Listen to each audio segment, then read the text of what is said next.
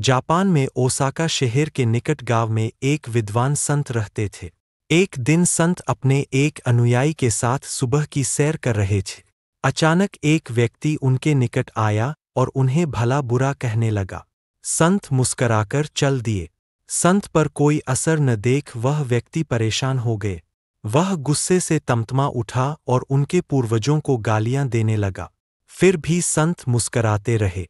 संत पर जब कोई असर नहीं हुआ तो वह व्यक्ति निराश होकर रास्ते से हट गए। उस व्यक्ति के जाते ही एक अनुयायी ने संत से पूछा, आपने उस दुष्ट की बातों का कोई जवाब क्यों नहीं दिया? वह बोलता रहा और आप मुस्कराते रहे।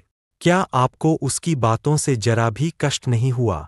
संत कुछ नहीं बोले और अपने अनुयायी को पीछे आने का इशारा किया। कुछ देर बाद संत के साथ वह अनुयायी कक्ष में पहुँचा। संत बोले तुम यही रुको, मैं अंदर से अभी आता हूँ।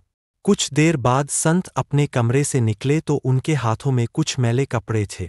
उन्होंने बाहर आकर उस अनुयायी से कहा, ये लो, तुम अपने कपड़े उतारकर इन्हें धारण कर लो।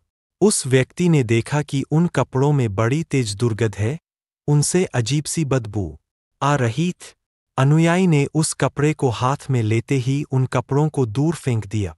संत बोले, अब समझे जब कोई तुमसे बिना मतलब के भला बुरा कहता है तो तुम क्रोधित होकर उसके फेंके हुए अपशब्द धारण कर लेते हो, लेकिन दूसरे के गंदे कपड़े नहीं पहन सकते जिस तरह तुम अपने साफ़ सुथरे कपड़ों की जगह ये मैले कपड़े धारण नहीं कर सकते, उसी तरह मैंने भी उस आदमी के फेंके हुए अपशब्दों को धारण नहीं किए।